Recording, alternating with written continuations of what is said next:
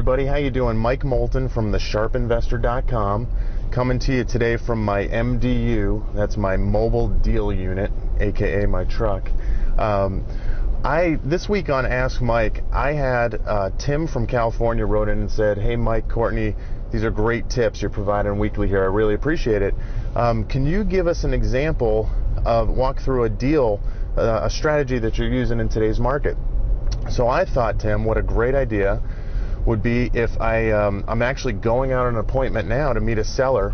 Um, unfortunately, I'm not gonna have them sign disclosures and get them on film or anything like that.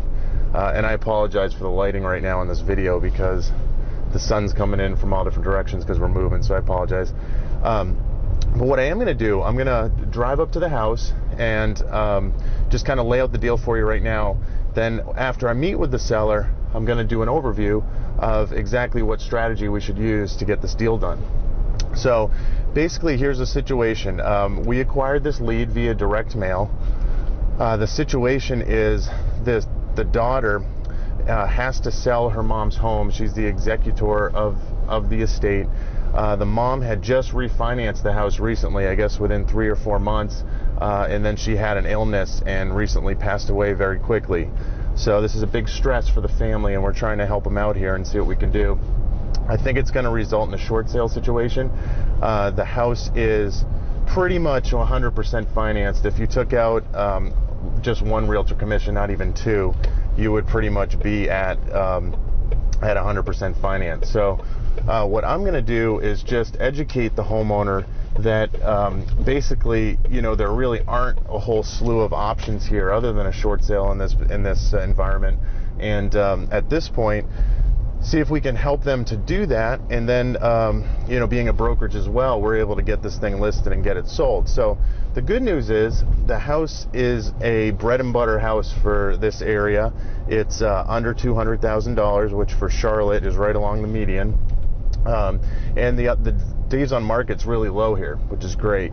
So I think we're going to be able to help help her out. Let's see um, let's see what my sales skills can do if we can get the deal.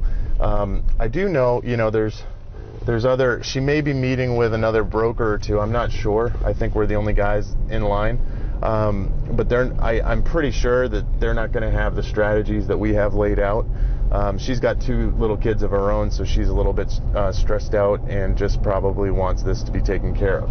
So, uh, so tune in. Um, this actually, I don't want to talk for another five, ten minutes till I get there, but what I'll do is, um, like I said, on the way back, we'll debrief on what happened, and uh, I'll even show you some of the numbers involved and where we're going to make make our money on this one.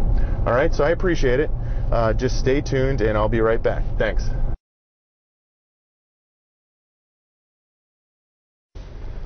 Hey everybody, I'm back again. It's Mike here. All right, here's the deal with this house. I'm gonna just uh, turn around here in the neighborhood so you can get a feel for it. Um, all right, before I said that this thing was pretty much 100% loan to value uh, based on everything going on. You can see the mover trucks over over my shoulder here in front of the house. These guys are getting ready to go. Uh, the house, it's it's just really messy right now. They're trying to get everything together, get moved. Um, basically, we've got uh, a situation. I'm going to wave to the movers. Um, we've got a situation where the uh, the kids have there's a little bit of damage. Um, it's what we call pretty house damage in the business.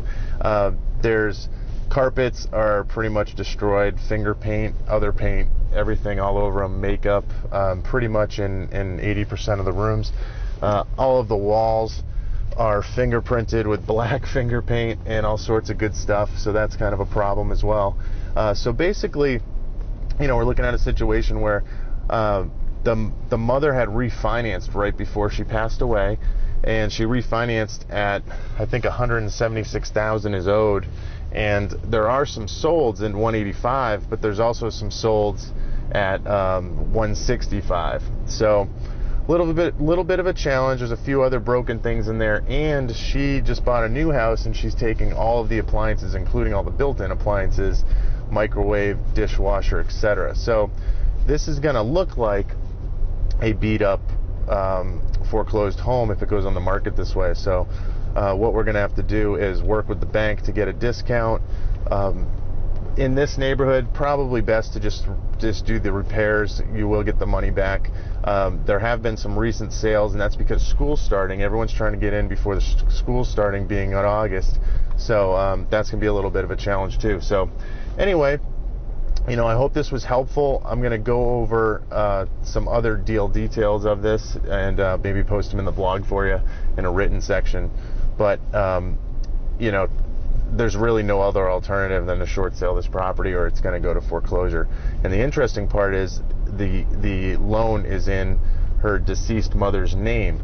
So uh, if you're wondering if you can actually do a short sale on a uh, deceased person's loan, you can. I've done it before.